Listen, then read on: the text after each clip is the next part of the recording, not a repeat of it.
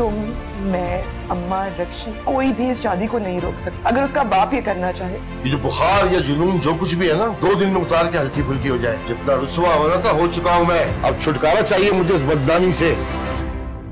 आज उसे खुद से दूर करना पड़ा सिर्फ़ अपनी कमज़ोरी की वजह से।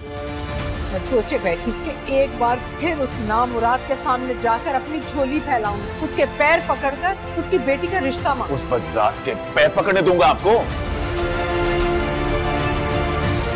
और तुम अब भी मुझे ये कहोगी गैरत में आके मैं अपनी बेटी के साथ ज्यादती कर ज्यादती तो मेरी बेटी ने की है मेरे साथ। जितनी जल्दी हो सके ये मोहल्ला बदल लो। मैं अपने बेटे की बारात लेकर यहाँ तो नहीं आ